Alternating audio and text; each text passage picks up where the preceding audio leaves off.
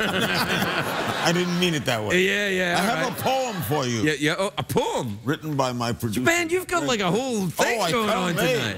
Okay, what you got? Judge, judges. Oh, I will. Hang on. Let me get my judging pipe. My dear Craigie Ferg, my favorite Scot. Oh, how we'll miss you and that gay robot. It's pretty good. Your last guess I thought I would be, but apparently it's Jay Leno that you like better than me. No, no, don't go on. It's true. At 12:30 you've become my nightly habit. I love Secretariat, Miriam, and even that foul-mouthed rabbit. Ah, One ding, two dings, we are all still German. Why am I here and not Pee Wee Herman?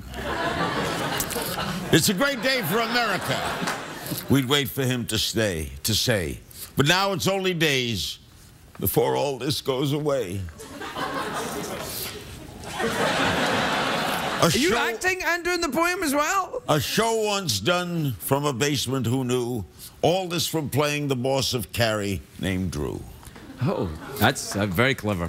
Yeah. So, so what did we learn on the show tonight, Craig? To leave a job like this, you must have a big CBS nest egg. now you have to be involved. And so we say goodbye to the snake mug, mouth organ, and awkward pause. Won't you please stand up and give Craig some well-deserved applause? Oh,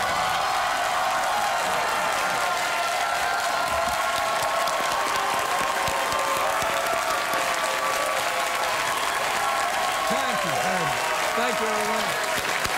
Thank you. That's very nice. That's very nice. We're going to miss you, Craig.